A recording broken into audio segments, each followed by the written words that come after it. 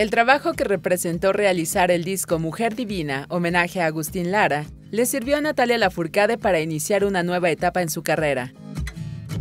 Haber hecho el homenaje a Agustín Lara a mí me enseñó muchísimo, o sea, un poco fue gracias también a que, a que hice ese, ese trabajo que, que en mí nació el deseo tan profundo de, de, ser compositora, ¿no? Compositora para, para México, como lo era Agustín Lara, antes que en ningún otro lugar, ¿no?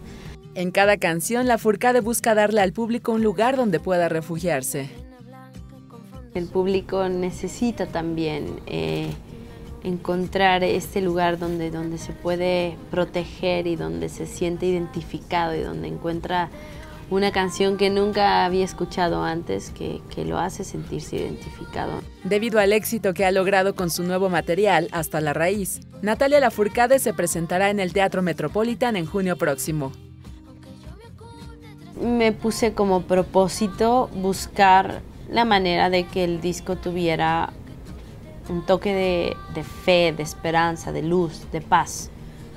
Eh, siento que es, es, esos ingredientes hoy en día son básicos ¿no? para, para el mundo, para la gente, para la vida. Es el concepto de, ok, o sea, me caí, me rompí, lo que sea, pero vale la pena levantarse y vale la pena salir adelante. Con información de Claudia Pacheco y Ana Karen Alvarado, Notimex.